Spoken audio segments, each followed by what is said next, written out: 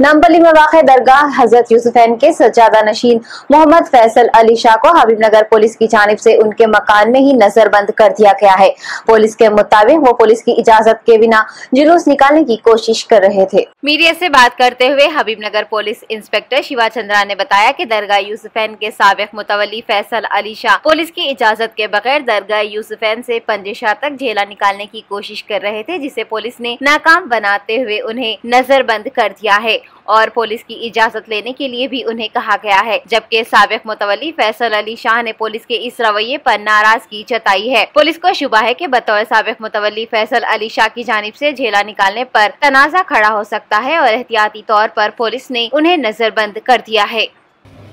वो आज फैजल अली शाह बोल के नज- सज्जाद नाशिन यक्स मुतवली है उन्होंने यूसुफैन दरगाह से पंजेशा तक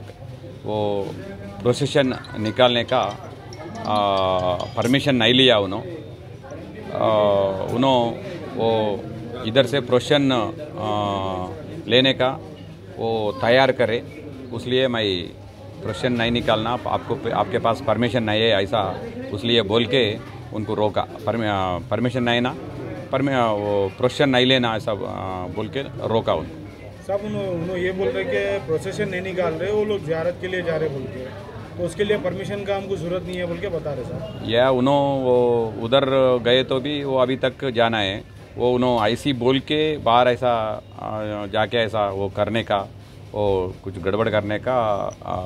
उसमें सोच रहे। मेरा इंफॉर्मेशन भी आया वो इंफॉर्मेशन के बारे में उनको रोका। प्रोशन नहीं लेना नहीं लेना बोल के बोल के उनको रोका। जिनको हाउस अरेस्ट करे साहब ऐसा नहीं वो हाउस अरेस्ट नहीं करे वो बोला वो उन्होंने भी ऐसा ऐसी उन्होंने ऐसा सोच रहे मैं हाउस अरेस्ट नहीं करे वो खाली उनको बोला वो प्रोशन नहीं निकालना आपको परमिशन नहीं लेना परमिशन नहीं लिया आप ऐसा बोला। बिसमीम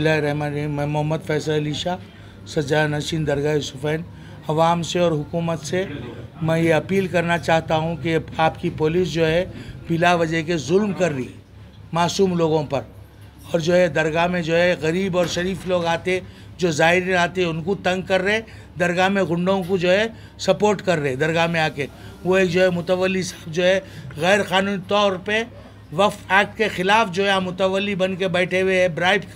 करके लोगों को जो है, जो भी करके उन्होंने वो करके बैठे हुए हैं, उन्होंने सब गुंडागर्दी और न्यूसेंस पैदा कर रहे नहीं तो 300 बरस से हमारे बाप, दादा, सकड़ दादा, मेरे पास मुग़ल पीरियड का जो पहला डॉक्यूमेंट है, मुग़ल पीरियड से ले लेके पूरा उस्मान अली खां की हुकूमत, फिर ये जो इंडियन गवर्नमेंट का भी मेरे पास ऑर्डर है कि मैं सज्जाना नशीन हूँ एडिडेटरी और मैं मुतवली हूँ, मैं मुजाविर हूँ। और वफ़ एक्ट के लिहाज से भी, वो वफ़ एक्ट की किताब ला पफ एक्ट के लिहाज से भी देखिए आप यहाँ जज खुद मेंशन करें। हमारे अफजलपुर कर्जा office of sajjada nashin is unaffected by the suspension और otherwise from the office of mutawalli in terms of section 64 two of the Waqf act 1995 petitioner who claims to be sajjada nashin shall be allowed to function as Sajjara Nashin though the order is suspension of his status as a mutawalli is not interfered with कब का है साहब ये जी ये जब इन लोगों मेरे को सस्पेंड करे ना तो मेरे को रसूमात अदा करने नहीं दे रही थी वक्फ बोर्ड तो मैं ये डाला तो ये ऑर्डर मिला मेरे को कि इनकी सज्जादगी महफूज है 64 64 के तहत तहत इन लोगों मेरे को रिमूव करे पूरे इल्ज़ाम लगा के। और उस 64 टू के तहत ये ये ये ऑर्डर है। और 64 सिक्स एक का है उसमें वो 64 सिक्स के तहत जहाँ हेरिडेटरी मुतवली और सजारा नशीन रहता वहाँ वक्फ बोर्ड जो है ट्रिब्यूनल को अ, दरख्वास्त देना कि यहाँ कोई रिसीवर कायम करो आप।